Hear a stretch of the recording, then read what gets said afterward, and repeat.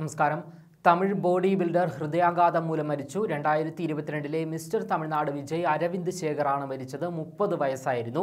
കഴിഞ്ഞ ബുധനാഴ്ച ഹൃദയാഘാതം ഉണ്ടായതിന് പിന്നാലെ അരവിന്ദിനെ ആശുപത്രിയിൽ എത്തിച്ചുവെങ്കിലും ജീവൻ രക്ഷിക്കാൻ സാധിച്ചില്ല. തമിഴ്നടി ശ്രുതി ഷൺമുഖപ്രിയയുടെ ഭർത്താവാണ് അരവിന്ദ്. വർഷങ്ങളായി ഡേറ്റിംഗിലായിരുന്ന ഇരുവരും കഴിഞ്ഞ വർഷം മെയ്യിലാണ് വിവാഹിതരായത്. പേരെടുത്ത വെയിറ്റ് ലോസ് കോച്ച് കൂടിയായിരുന്ന അരവിന്ദ് ശരീരഭാരം നിയന്ത്രിക്കുന്നതിനെ പറ്റി ഓൺലൈനിൽ നടത്തിയിരുന്ന ക്ലാസുകൾക്ക് ഏറെ കാഴ്ചക്കാരുണ്ടായിരുന്നു.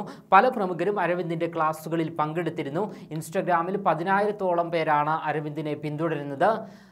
ബോഡി ബിൽഡറും ഫിറ്റ്നസ് മോഡലും ഫിറ്റ്നസ് കോച്ചുമായിരുന്ന അരവിന്ദിന് സമൂഹ മാധ്യമങ്ങളിൽ ഏറെ ആരാധകരാണ് ഉള്ളത്. ചെറുപ്പക്കാരൻ മരണത്തിന് കീഴടങ്ങുമ്പോൾ പ്രത്യേകിച്ച് ആരോഗ്യ കാര്യങ്ങളിലും ഫിറ്റ്നസ്സും എല്ലാം തന്നെ ശ്രദ്ധ നൽകുന്ന ചെറുപ്പക്കാരുടെ അകാല മരണം വലിയ ചർച്ചകൾ ആകാറുണ്ട്.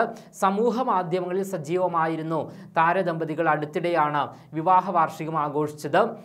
ഭാരതി കണ്ണമ്മ എന്ന പരിപാടിയിലൂടെ ഏറെ ആരാധകരെ നേടിയ അഭിനേത്രിയാണ് അരവിന്ദിന്റെ ഭാര്യ ഷൺമുഖപ്രിയ എന്ന് പറയുന്നത്. അതേസമയം നേരത്തെ സോഷ്യൽ മീഡിയ ഇൻഫ്ലുവൻസറും ഫിറ്റ്നസ് കോച്ചുമായിരുന്ന ജോ ലിൻഡനിന്റെ മരണം ഏറെ ചർച്ചാ വിഷയമായിരുന്നു.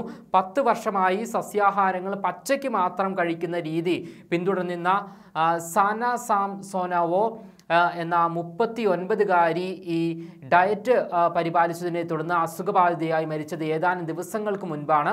അതേസമയം പ്രശസ്ത വെയിറ്റ് ലോസ് കോച്ച് കൂടിയായിരുന്ന അരവിന്ദിന്റെ വെയിറ്റ് മാനേജ്മെന്റിനെ കുറിച്ചുള്ള ഓൺലൈൻ ക്ലാസ്സുകൾക്ക് ധാരാളം കാഴ്ചക്കാർ തന്നെയാണ് ഉണ്ടായിരുന്നത്.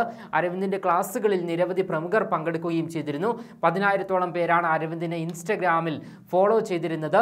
നടി ശ്രുതി ഷൺമുഖപ്രിയയുടെ ഭർത്താവ് അരവിന്ദ് ശേഖറിന്റെ പെട്ടെന്നുള്ളതും ആകസ്മികവുമായ വിയോഗം ഫിറ്റ്നസ് ലോകത്തെയും ആരാധകരെയും എന്തായാലും ഞെട്ടലിലും ദുഃഖത്തിലും ആക്കിയിരിക്കുകയാണ്.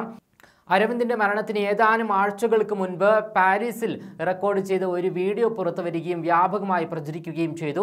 അരവിന്ദിന്റെ വിയോഗത്തിന്റെ വെളിച്ചത്തിൽ വിചിത്രമായ പ്രാധാന്യമുള്ള വാക്കുകൾ അദ്ദേഹം വീഡിയോയിൽ പറയുകയും ചെയ്യുന്നു.